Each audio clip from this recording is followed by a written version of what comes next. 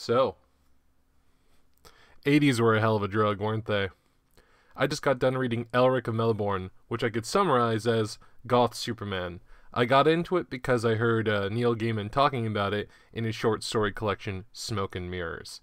Elric of Melniboné is a anti Conan the Barbarian, a response to Conan the Barbarian.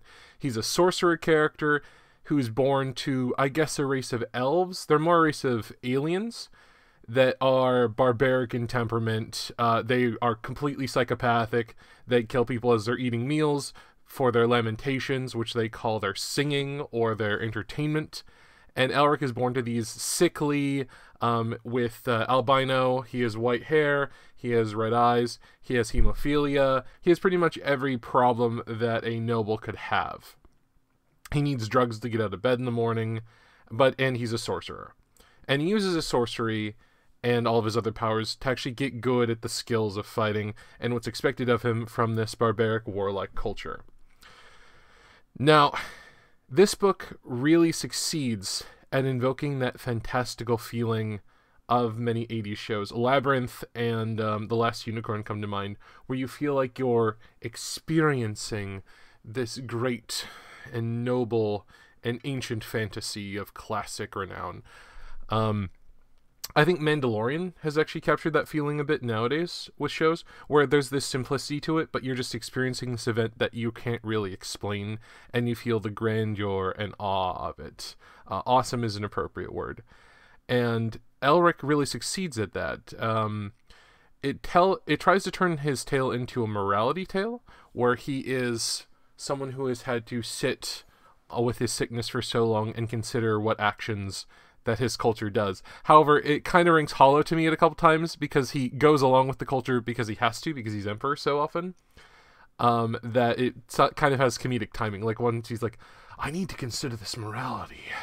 So we caught some spies. Oh, then cut off their balls and throw them into the fire to use for as a spell to get their minds. And then we'll kill the barbarian hordes before they get to the gate. Don't set off the dragons though. We don't want to wake them. Right, morality um, which it feels true to a person who is caught by their culture, but nonetheless has like certain comedic undertones to it. Um, my big issues with the text and why I think it's not considered a classic to this day is that things just kind of happen in it. Um, and by that I mean like Elric gets knocked off his ship at one point in full armor, and he is low on drugs. He has like no strength left in his body. He can't swim, and he's like, well, I guess this is the end. Let me consider my entire life and let it flash before my eyes. Huh, I was a really shitty king. I didn't really do much aside from just kind of try to avoid my responsibilities. Even if I was trying to go against the psychopathic things, I probably should have done something. Wow, I won't be remembered fondly. And then right after that, this sea king, this elemental sea king, just kind of appears out of the water and says, "Oh hey, uh, by the way, I'm I'm the Sea King, and I'd love to help you because uh, the person who uh, will take over after you is a complete asshole. So we'd really prefer you instead. And he's like, oh, cool. In that case, yeah, get me out of here. And then that tension is just sort of resolved. Um, the, so there are just kind of moments like that all over the text. Uh, even for the villain, who suddenly has like a secret weapon in between one chapter and the next, which is a mirror of memories.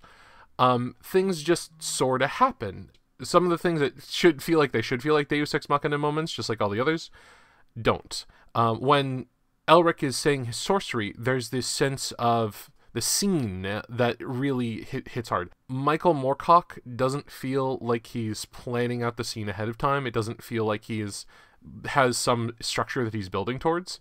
It kind of just feels like he's writing these cool scenes that are legitimately really fun to get into, but a lot of them just don't make that much sense to me.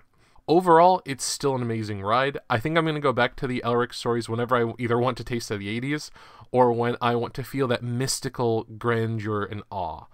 Um, and I can't wait to hang out with Goth Superman some other time, and his sword Stormbringer, who I can't wait to see develop a personality of its own.